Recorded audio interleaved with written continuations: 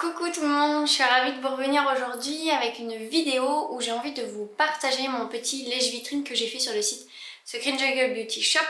Vous êtes peut-être pas sans savoir que sur la semaine, là, il y a euh, moins 15%.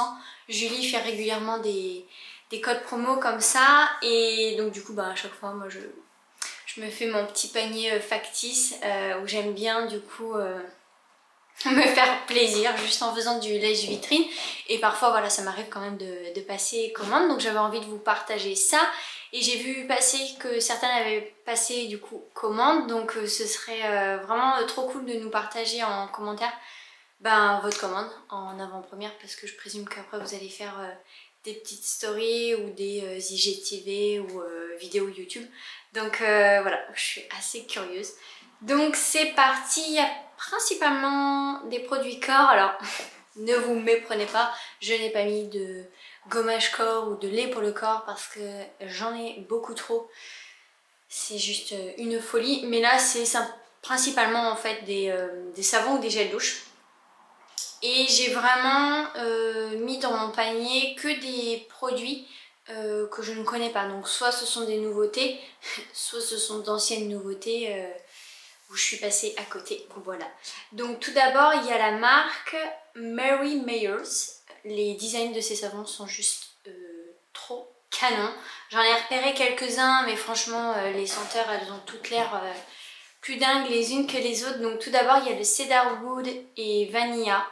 Donc lui, voilà, c'est un mélange de bois de cèdre et de vanille. Ça doit juste être une tuerie. Euh, ils sont au prix de 15 euros les savons majoritairement si je ne me trompe pas. Oui c'est bien ça. Et donc celui-ci, euh, ouais il a l'air juste trop canon et je pense que c'est une odeur parfaite pour euh, l'automne-hiver. J'ai également repéré le Pineapple Tropical. Oh là là, celui-ci doit être trop canon. Et ils nous disent donc mangue, mandarine et lait de coco avec de l'ananas. Je ne sais pas si vous voyez le délire, mais pour la saison, ça doit être trop trop canon. L'autre également, donc c'est le Outwood. Donc celui-ci c'est principalement avec du bois de, de oud et euh, je crois qu'il y avait autre chose dedans. Non en fait il disait simplement un parfum musqué et ancien. Donc celui-ci pour euh, l'automne-hiver aussi ça doit être divin. Et je crois que j'en avais repéré un autre également. C'est le Grapefruit et Clémentine. Donc euh, pamplemousse et clémentine aussi, il doit être super peps. Donc on est sur des formats standards je crois, 5 oses, je crois que ça doit être 100 grammes. Euh, bon après ça reste euh, voilà 15 euros le savon, je pense que c'est pas... Après tout dépend s'il dure longtemps. par exemple les ateliers populaires durent quand même relativement longtemps pour des formats 90 grammes. Bon là aussi on paye bien sûr le, graphisme, euh, le design, tout ça tout ça, mais franchement ils sortent euh, clairement euh, du lot avec leur design un peu décadent, qui me rappelle d'ailleurs ceux de... Mince, comment elle s'appelle cette marque?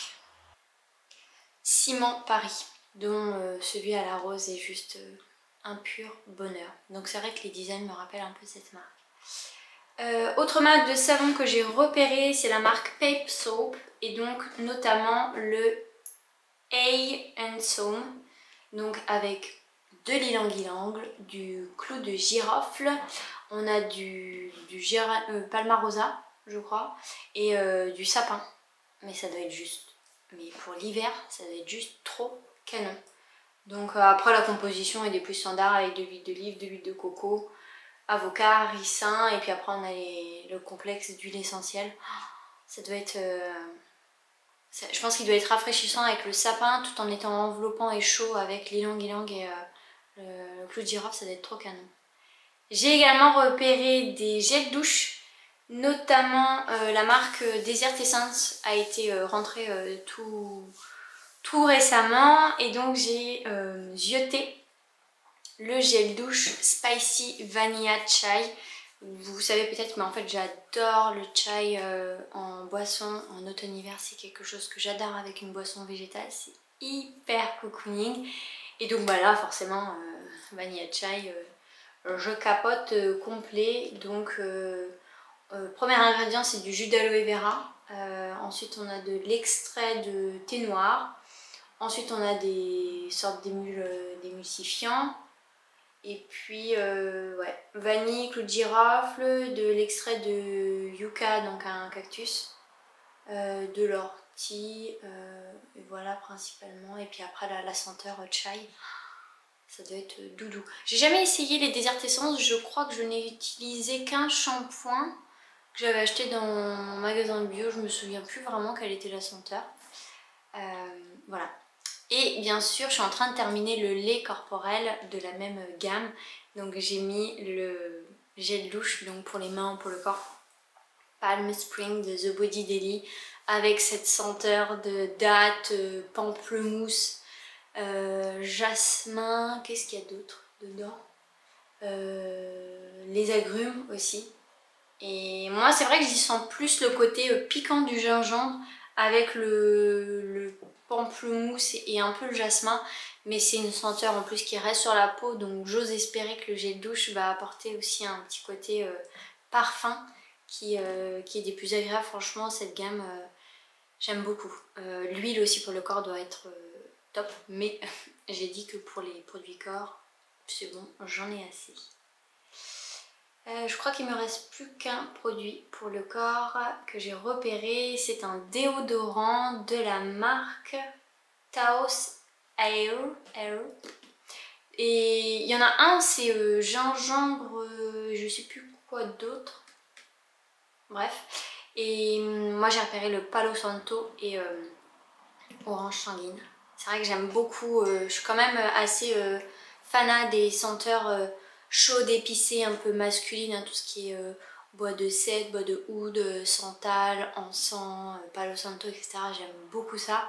Et là, je pense que le mélange doit être bien sympathique. En plus, j'aime beaucoup le format qui est assez novateur. Je crois pas l'avoir déjà vu quelque part. On, voilà, on tourne la roulette et il y a plusieurs petits trous et ça fait sortir la, crème.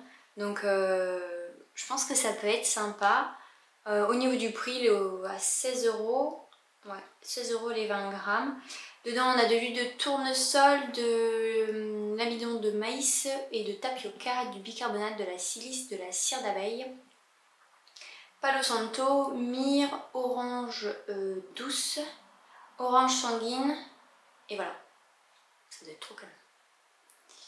Ensuite, côté visage, bon bah je me refais pas, j'ai repéré des démaquillants forcément. C'est vrai que démaquillants, nettoyants et masques, ce sont quand même mes, catégories assez euh, fétiches. Donc j'ai repéré le Essential Balm Cleanse de Josh Rosebrook, c'est leur euh, nouveauté. C'est un baume démaquillant à la couleur verte euh, composé de chlorelle et de spiruline. On a une très belle composition comme à chaque fois avec Josh, on a du thé vert, de la camomille, cardamome et c'est vrai que la senteur est euh, petite pointe de cardamome et je pense que pour cet hiver ça doit être pas mal. Euh, voilà, comme je vous disais j'aime beaucoup euh, ces senteurs un peu chaudes.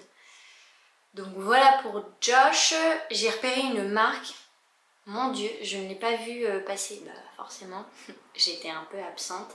C'est la marque Margaliti. Mon dieu, ne serait-ce que les photos en plus sur le site de Julie, ça a l'air juste trop canon. Donc j'ai repéré leur, pardon, Restorative euh, Sea C'est le, je vais le faire à la française, c'est le baume démaquillant à l'argousier. Voilà. Euh, au niveau de la composition, alors c'est un baume qui ne s'émulsionne pas mais franchement vu la senteur euh, je serais capable clairement de passer à côté du côté émulsifiant parce que vraiment ça m'a l'air juste génial beurre de karité, extrait de calendula, huile de jojoba, huile de bourrage, de sésame, beurre de cacao, argousier, vitamine E, orange douce, ylang-ylang, bergamote, vanille, rose. Euh, on en parle ou pas? Et franchement, à les yeuter, ne serait-ce que les images, euh, ça donne toujours envie quand les produits, je trouve, sont euh, pris en photo avec les ingrédients. on a l'impression que c'est de la nourriture, quoi. Clairement, il a l'air juste dingue ce beau démaquillant. Euh, côté nettoyant, j'en ai repéré qu'un. C'est celui de Josh Rosebook, donc c'est le Complete Moisture Cleanse. Euh, la composition.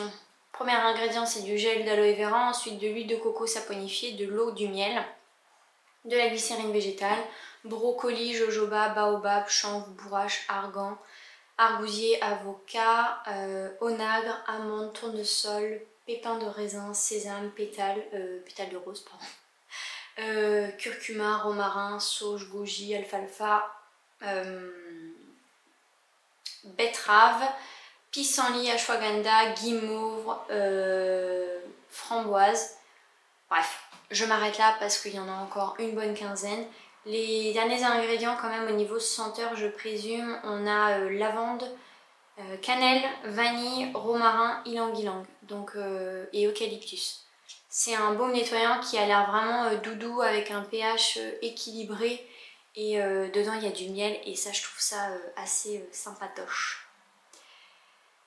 Ensuite, ensuite, un exfoliant et un exfoliant enzymatique sous forme à poudre de la marque Gar gare, n'importe quoi, Margaliti.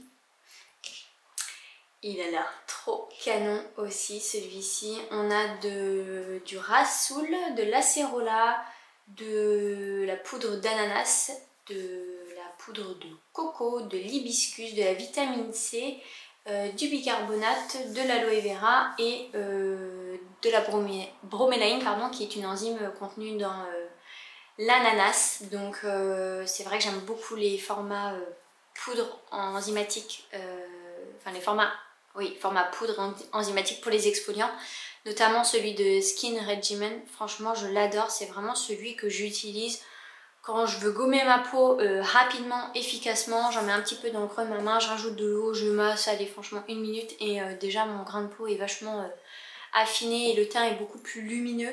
Donc vraiment c'est un format que j'aime beaucoup. Donc euh, celui-ci a l'air euh, sympa. Et toujours de la même marque, ben forcément j'ai repéré leur masque au miel. Mon dieu, on est sur un masque avec comme premier ingrédient du miel cru de lavande, des pétales de rose, de l'ortie, euh, du pollen, du pollen, du pollen de... J'ai regardé tout à l'heure mais je me souviens plus de, de quoi. Euh, de l'encens, de l'huile d'olive, du gotu-cola, de la rose, je ne sais plus comment, oups, euh, patchouli, lavande, rose, ça doit être vraiment un, masque euh, au niveau senteur fleuri très féminin.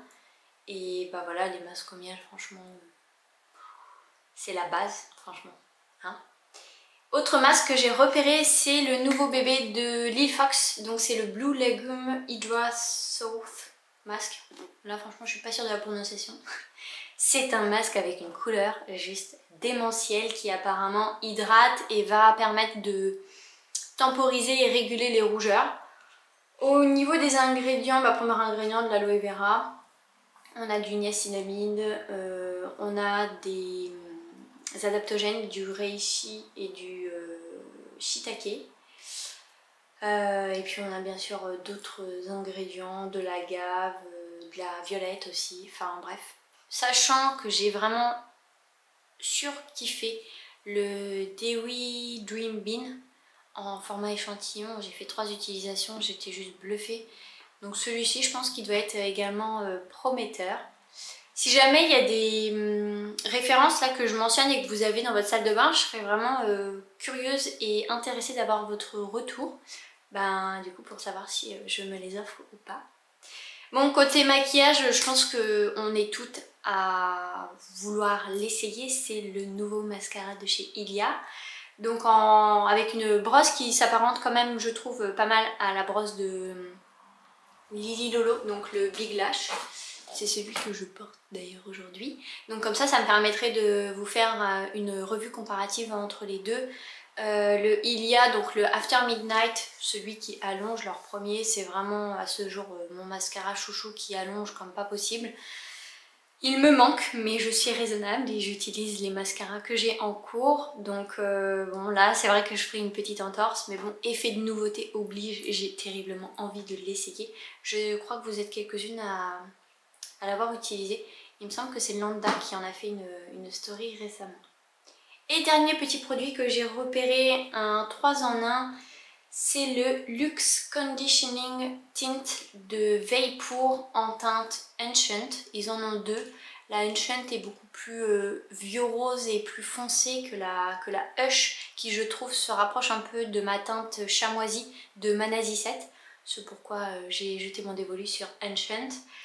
Euh, voilà, que je pourrais utiliser sur les yeux, les lèvres et les joues et les, produits comme ça multifonctions. Je trouve ça sympatoche.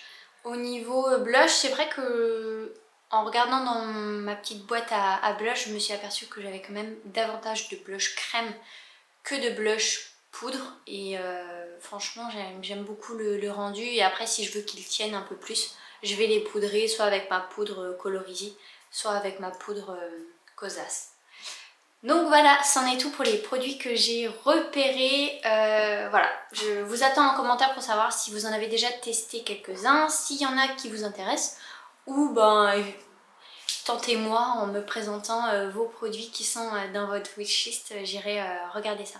Je vous embrasse bien fort et je vous dis à la prochaine.